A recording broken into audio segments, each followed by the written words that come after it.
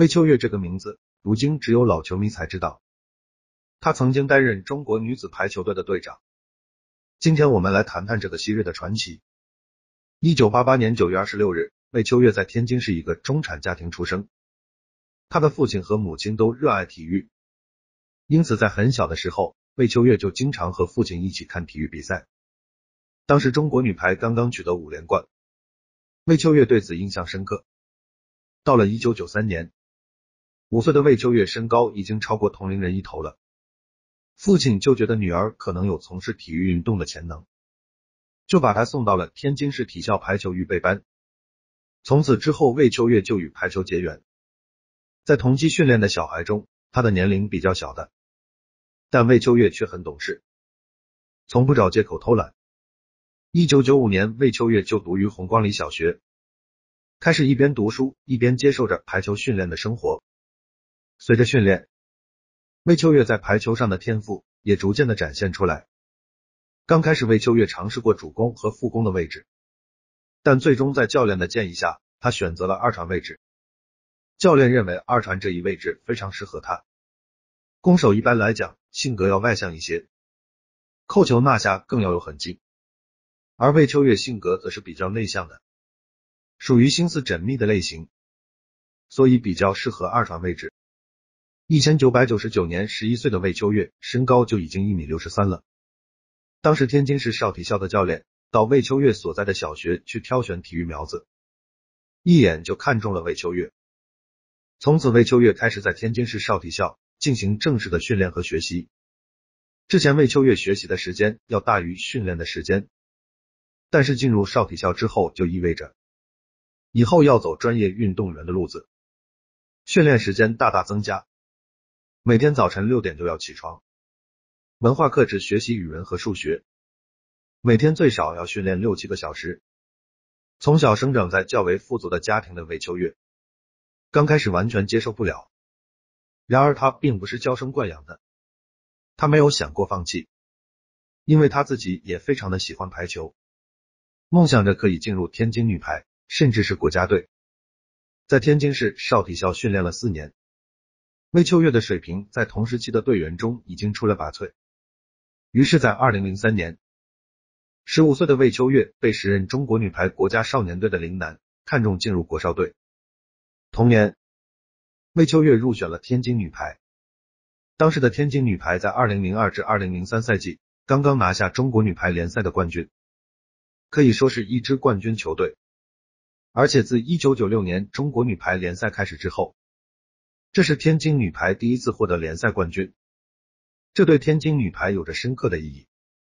魏秋月这个时候入选天津女排，也确实是非常的幸运，因为她的职业生涯一开始就被放在一个冠军球队里，在这支队伍里耳濡目染的跟着老队员们学习经验，为魏秋月之后的成长也是打下了坚实的基础。二零零四年，在国家体育总局排球运动管理中心公布的。备战二零零八年北京奥运会后备人才名单中，魏秋月是年龄最小的球员，当时还不到十六岁。同年，魏秋月入选国家青年队，他凭借出色的身体条件和不俗的技战术组织素养，被当时的国青队主教练蔡炳伟以重任出任主力二传。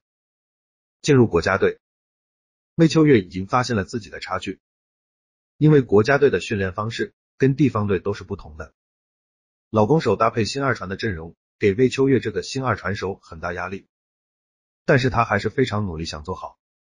二零零五年，在土耳其进行的二十岁以下世界青年女排锦标赛中，中国队苦战五局，力克意大利队获得第三名，魏秋月名列最佳二传首位。二零零六年二月，以临时借调的身份入选国家队。二零零六年十二月。在主力二传冯坤赴美接受治疗的情况下入选国家队，一举奠定了主力身份。魏秋月的身体条件好，性格内向，善于思考，因此有着很好的成为优秀二传的潜质。他的打法与冯坤相似，属进攻型二传。二零零六至二零零七赛季全国女排联赛，随着天津女排功勋老将丁红颖的淡出。年轻的魏秋月被主教练王宝全委以首发重任，体现出了天津队对于魏秋月的充分信任。魏秋月的技术和心理在联赛的高水平对抗中得到了充分的锻炼。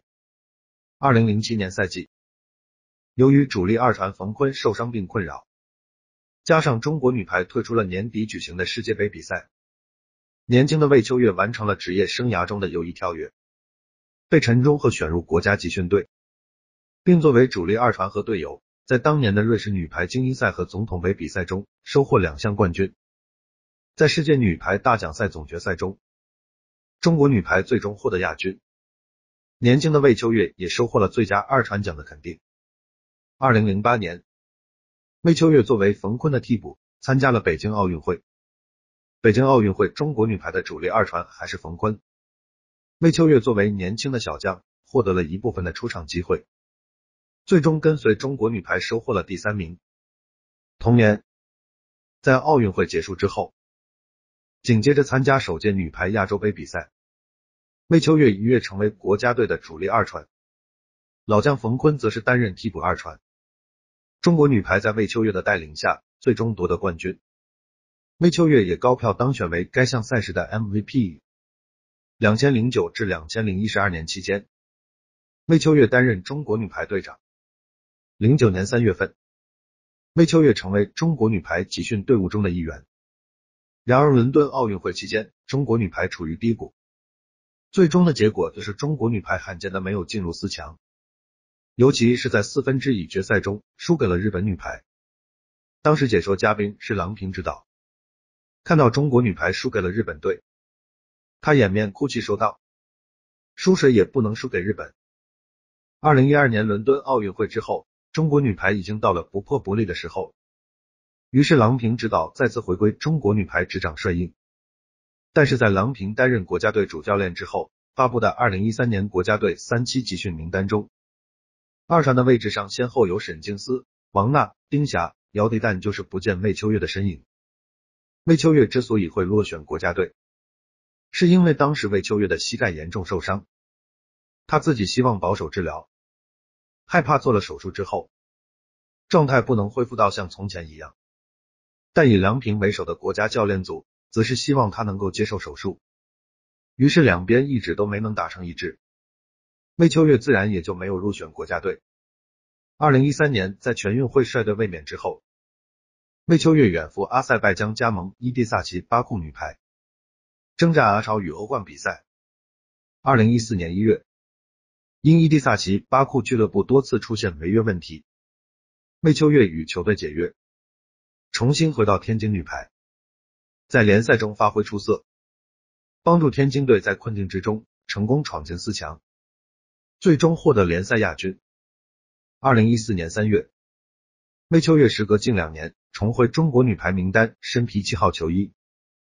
二零一四年十月十三日凌晨，魏秋月作为女排的首发二传。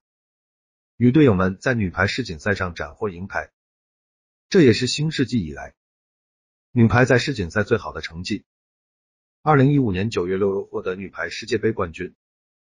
二零一六年七月十八日，里约热内卢奥运会中国奥运代表团成立，魏秋月名列出征女子排球运动员名单。